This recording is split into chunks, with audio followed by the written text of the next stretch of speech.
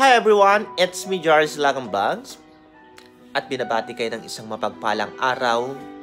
Nawa po sana kung ano man ang iyong pinagdaraanan sa araw na ito, matuto at pagkaroon pa rin tayo ng patuloy na pag-asa, patuloy na paniniwala.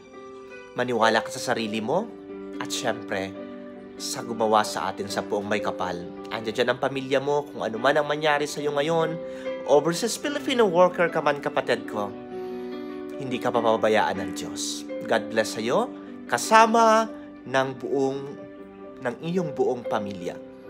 We love, ang sabi ni God, we love you, anak.